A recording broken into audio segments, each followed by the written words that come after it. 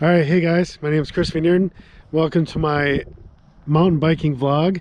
And uh, tonight we're gonna try something a little different.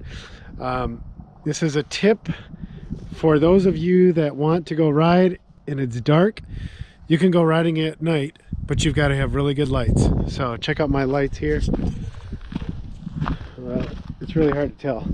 But my other tip for riding at night is go with a buddy because if you get hurt and you're out there at night, not many people are coming by.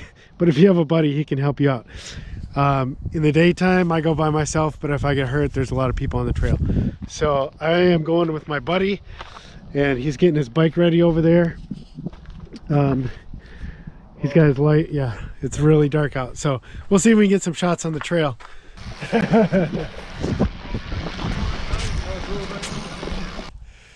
All right, dark I don't riding. know, dude. I don't even know. Just uh, get out there and have fun. Yeah, Right. get out there and do it. All right. All right, so we're checking out the map here. If you can see, I don't know if you can see. Sorry, my camera's not showing up too much in the dark. But yeah, You want me to line up? yeah.